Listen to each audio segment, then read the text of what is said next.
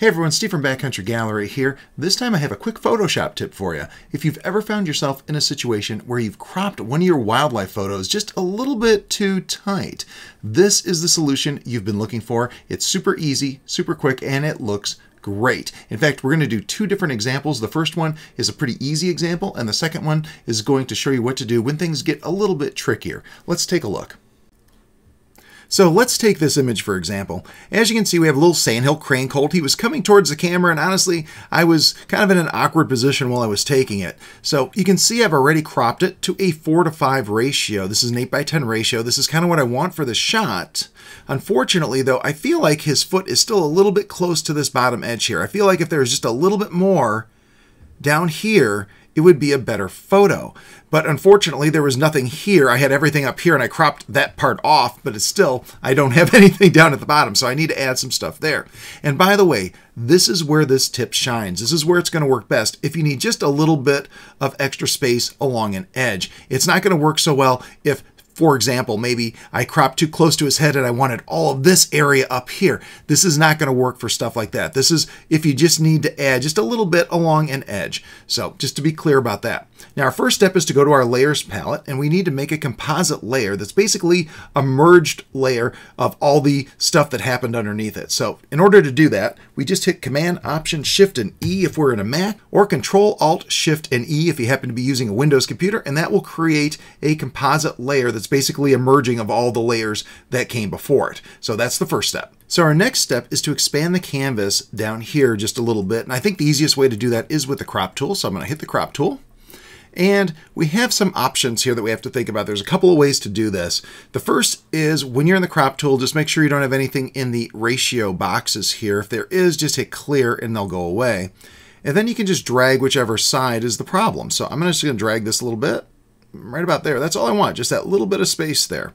And I can do it that way, then I can crop it to taste later. Now, I happen to know that I do want a specific ratio for this image. So I'm not going to go this route. I'm going to hit escape.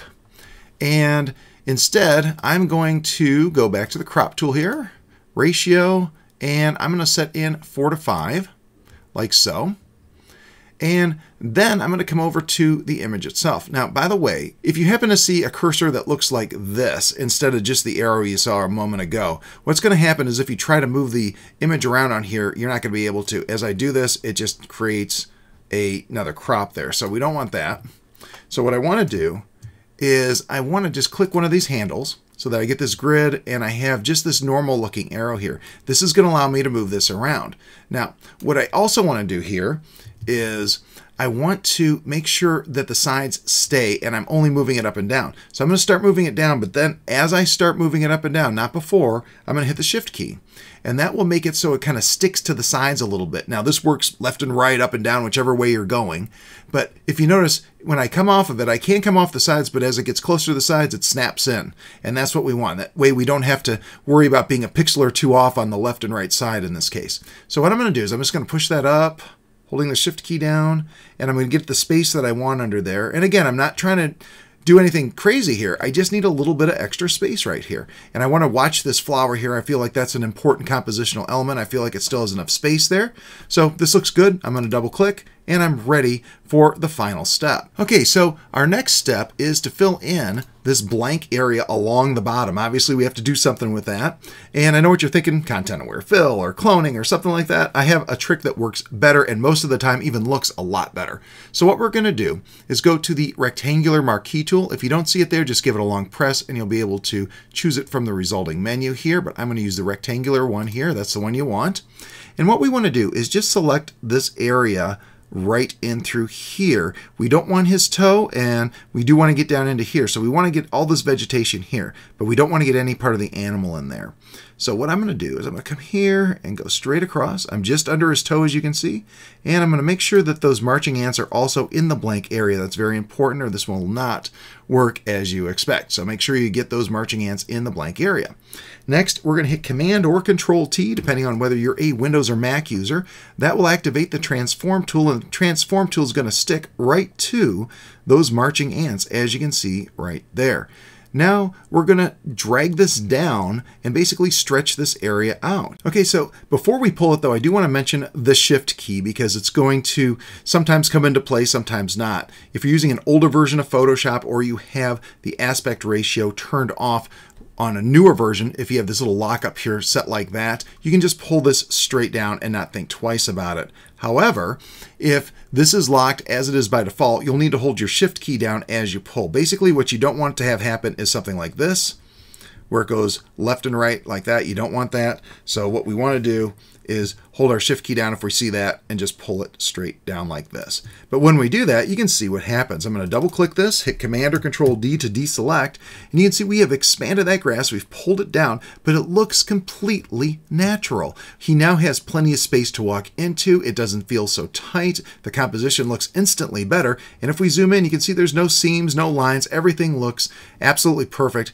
And honestly, this only takes a few seconds to do most of the time. It takes a lot longer to explain it and go over the details than it does to actually implement it, but it can definitely help you out, and I sure hope it does.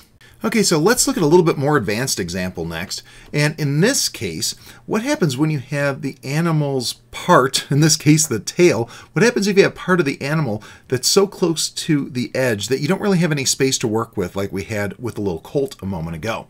Well, in that case, we're just going to take part of that area with us and do some cloning. So once again, we want to create a composite layer, Command Option Shift and E for me, and Control Alt Shift and E if you're a Windows user. And we're going to make that new layer right there. And what we're going to do is grab the crop tool again, and I'm going to pull this down in this case. Right there, I'm not worried about aspect ratios this time, and just kind of make it comfortable right there. That looks pretty good. There we go. And now once again, I'm going to grab the rectangular marquee, but this time I'm not going to worry about keeping the animal out of the frame. In fact, I'm going to go from this side so I can take a nice big swath here. Once again, making sure my marching ants are getting into the blank area down here. Now, as a quick side note, this was a relatively higher ISO image, so I did noise reduction first. You always want to do noise reduction first before you do this little trick because as you're pulling this down, what's going to happen is if there's noise in there, it's going to look a lot worse in the area that you adjusted there than the area that you added because you're basically making things look bigger. So you don't want your noise to look bigger. So do your noise reduction first.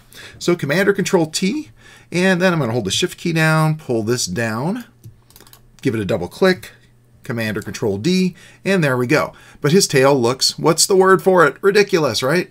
So what we want to do is put a layer mask in here and fix that. So I'm going to put a layer mask right here. And what I'm going to do is I'm going to paint black and I'm going to conceal this area right here and then I'm going to fix it with a clone stamp. So if you're a Photoshop user, you know black conceals and white reveals. If you're not, then you're about to learn it. So I'm going to paint with black on this layer mask. I have the layer mask selected and I'm just going to come down here and figure out where his real tail ends and where the new one begins. There we go right in through there. I'm going to use maybe a little bit bigger brush here and blend that a little nicer. There we go. That looks pretty good. And that's what I need right there. So I'm going to zoom in. And what I want to do here, little spider web right there, but what I want to do here is I just want to clone this area here and just fix this area. So I'm going to put a new layer. I always clone on a new layer. You can even rename it if you want. You can double click and call it clone. I'll do that here for us. I usually am a little sloppier than that, I'll admit it. As a quick side note, if you are working on a separate layer for cloning like I do, when you have your clone stamp selected, make sure you go to sample and make sure either all layers or current and below are chosen there. Otherwise, if it's just on the current layer, you're not going to actually be cloning anything. So I use all layers. That's the one that seems to work well for me. I'm going to grab the clone stamp tool over here, give that a click. And then I'm going to clone this area here down here. This looks like it's a pretty good match. And I'm not super concerned if I touch the tail because I can still go ahead and put a layer mask in there and clean that up here in a moment. Right now I just want to get this area so that it looks good. There we go. Maybe a little bit bigger there. And zoom out. I always like to zoom out and just kind of double check, make sure it looks okay. I think that's good enough for our demonstration purposes. And it looks like I might need a little bit more clone stamp action. I get right in through here. There we go. Now, as you'll notice, I did get into the tail a little bit, and that's perfectly fine because we're going to put another layer mask in here, grab our brush tool again, and we're going to paint with black, and that's going to cover up those clone areas that I just did. Oops, there we go. I'm just going to come in here, get that original tail back. And if you go too far, you can always hit X and kind of reverse out of there.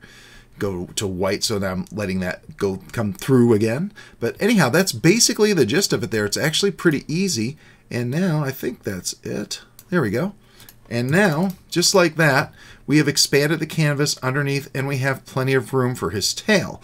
So if you happen to have an animal with part of the animal that's a little bit too close, you can chop into that if you really need to and then do a little bit of work afterwards. It's not really that hard to do as you can see here.